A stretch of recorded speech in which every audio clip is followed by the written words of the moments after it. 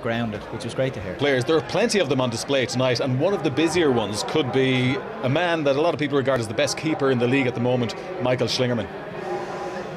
We're expecting him to possibly the big busiest, certainly the busiest of the two keepers tonight. Um, he has been in very good form for Drogheda this season, and he's needed to be. I mean, if you look at the sequence of results, he's generally the busiest player for Drogheda as well, and I'd expect him tonight to be getting. Uh, under pressure from many, many angles, but we're seeing action of him here where he's shown just what he can do.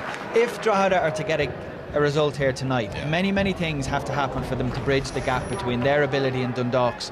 One of the things you would expect is for him to have an absolute blinder because, barring a different performance altogether together from Dundalk, he's going to need them. Yeah, Michael Schlingermann has got them out of trouble on many, many occasions so far this season. Another player who's contributed to some of Drogheda's better performances has been Sean Thornton, uh, a real player of quality.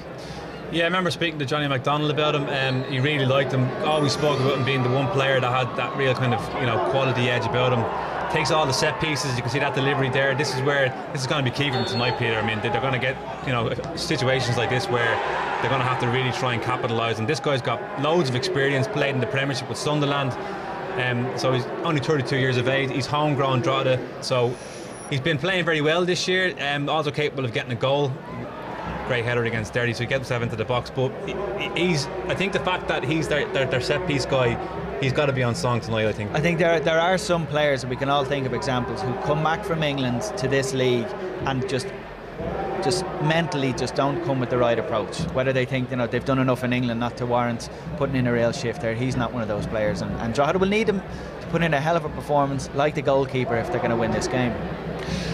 That uh, Dundalk midfield that has received so many glowing plaudits throughout the season probably the unsung hero in that midfield is Chris Shields. He was brilliant against uh, Sligo last weekend. he really orchestrated things and allowed Ronan Finn and